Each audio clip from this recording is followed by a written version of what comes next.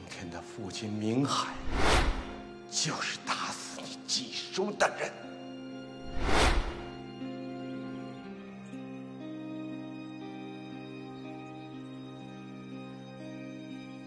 你晚一点回来，越晚越好。离真相揭晓的那一刻，越久越好。方宇，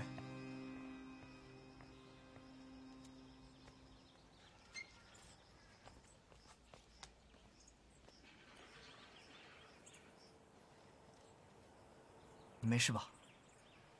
我刚在来的路上，方舟给我发了短信，说你跟爷爷吵架了。我没事儿，你不用替我操心。房子的事儿我已经在找了，这几天应该就能找到。工作的事儿应该也不难，最近工作比较好找。方宇，你爷爷他年纪大了，你就别再跟他老人家怄气了。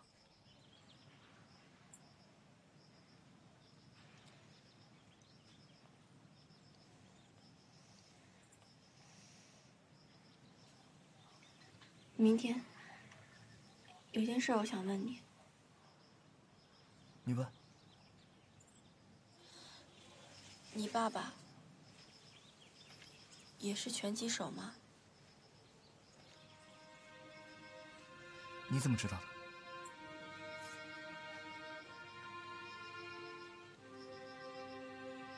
那他是不是在澳门参加过比赛？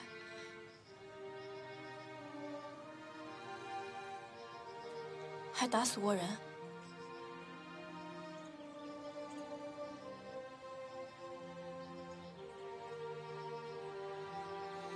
他的必杀绝技是不是死亡之击？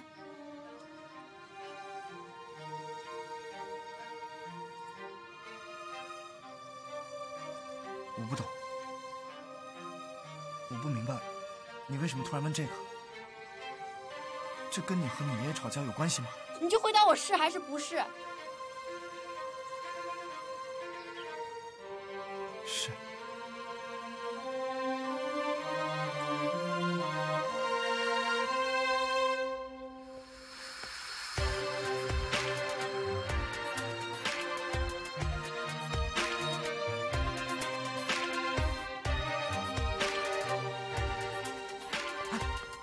方宇，你放手！到底发生什么事了？因为被你爸爸打死，就是最疼我的技术。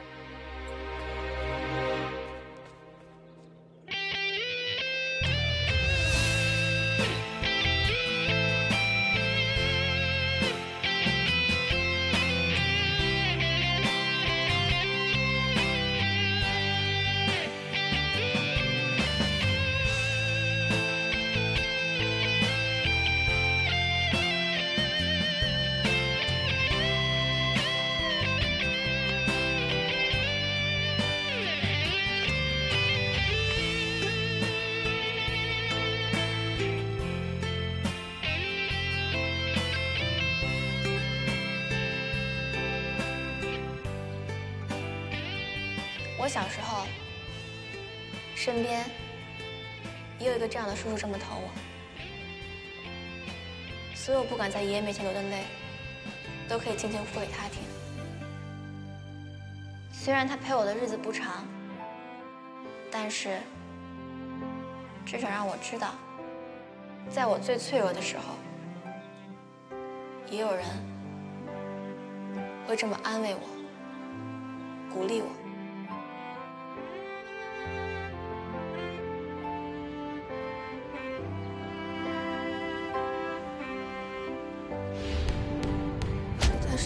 澳门参加过比赛，还打死过人？他的必杀绝技是不是死亡之击？是。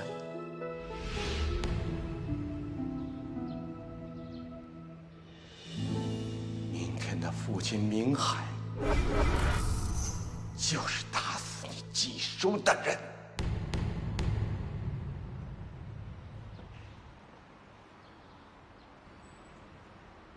叔就是被打死的，被明天的爸爸打死的。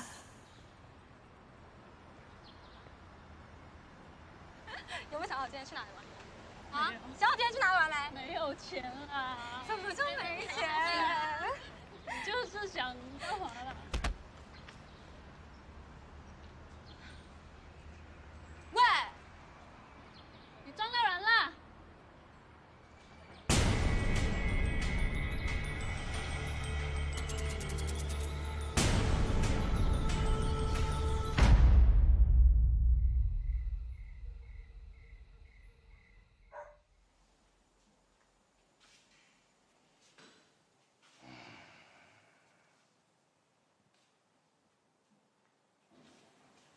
姐，小心点。嗯。楼梯。你先去洗澡吧，我去帮你拿药。不用了，一会儿我自己弄吧。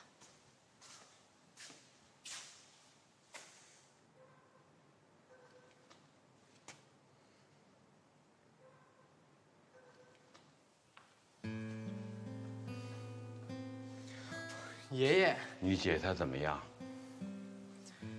他被几个小太妹给抢了，幸亏当时有警车经过，把那群人给抓了，警方才通知我把姐带回来。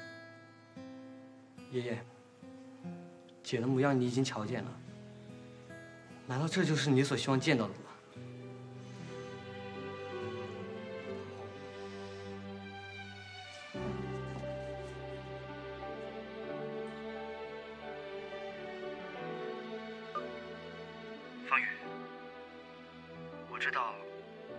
这个时候不应该打扰你，但是白天看到你这么离开，我真的很担心。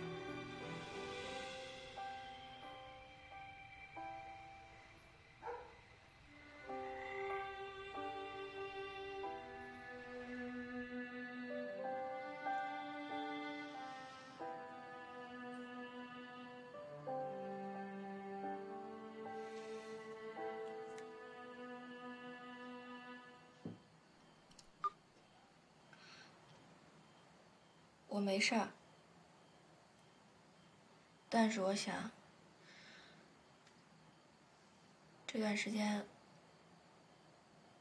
我们冷静一下，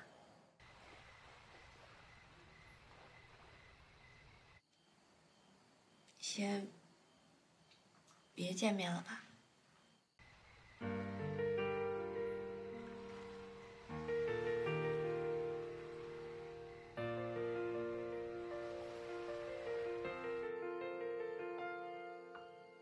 星星把一眨眼，月就会消失不见。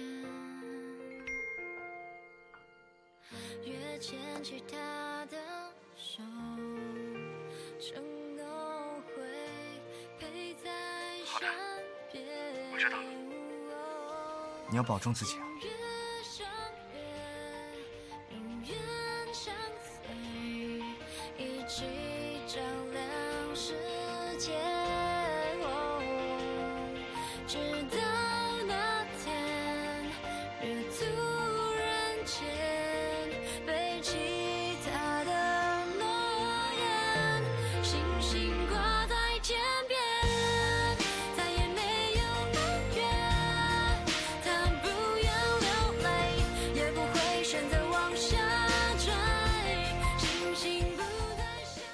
你就是我师兄明海的儿子啊！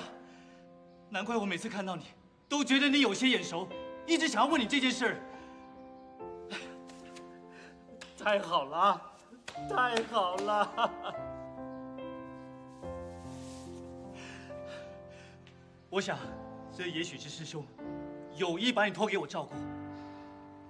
你放心，有陈叔在呢，绝对不会再让你一个人辛苦了照顾你弟弟妹妹。谢谢程叔的好意，我还行的。哎呀，你这倔强的个性就跟师兄一模一样啊！在我们师兄弟里头，最有出息的，就是你爸了。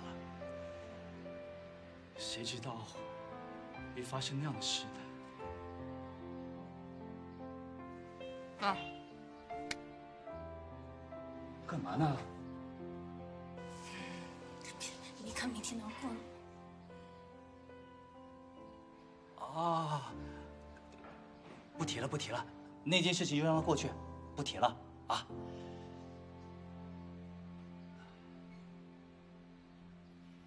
呃，可不管怎么说，你还是得继承你父亲的衣钵，成为一名格斗选手啊。那我这个师叔呢，就有这个义务来栽培你。我看这样子吧，从明天开始，你就每天到我这个拳馆来，我要教你。我们师门里头不传绝技，死亡之极。那又干嘛啦？我说错什么了？程叔，啊？我不想学。为什么？虽然我已经能够了解赛场的输赢，谁也不怨谁，但当年父亲这套拳技打死了人，害得我们家支离破碎，也让方宇。失去他生命中很重要的人，甚至影响了我跟他的感情。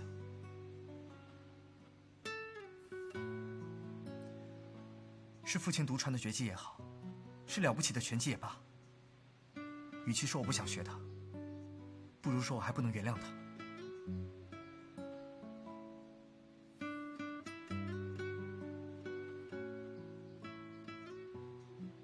对不起，我可能稍微有点激动。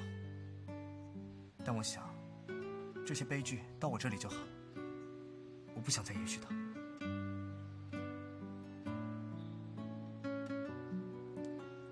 好吧，既然你都这么说了，师叔就不勉强你了。可是明天，既然你跟方宇有缘走在一块儿，就表示你们的缘分不是普通的深。或许是老天爷刻意安排。